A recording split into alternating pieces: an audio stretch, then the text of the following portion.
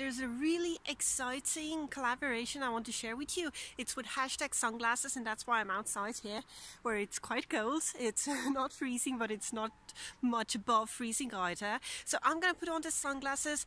It isn't as sunny today as, as, I hoped it would be, but still just to show you.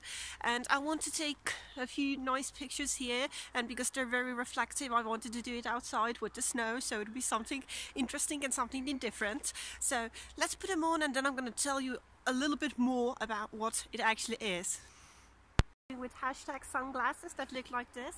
So basically I have a code for you that's what it is. I got these sunglasses 50% off, but the code will give you 10% off and free shipping wherever in the world you are. So definitely go check them out. It's www.hashtagsunglasses.com. And if you're interested in doing a collab with them, definitely go and do it because it was really quite fun. So go and check them out.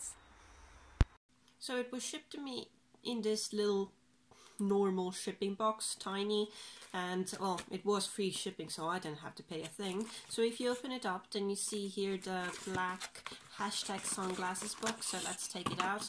It looks really nice, stylish. Well, what do you expect? you expect them to be stylish, so they kind of did nail with that. So let's open up and see what we have in this little box. If you open it up, then you see that you get the sunglasses in in a nice uh, in a nice package. So they're not dirty they're not scuffed so you know you're going to get them in pristine order.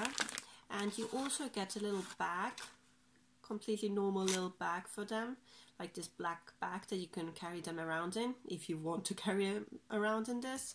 And also a nice little black black uh, what is it cleaning wipe? Well basically this is for cleaning the lenses so lens cleaning wipe I guess. So the sunglasses themselves look like this and when you open them up they're not flimsy at all. I kind of well, I thought they were going to be very flimsy or something gimmicky, but they're completely normal sunglasses. And let's let's put them on. Let's see what they actually look like.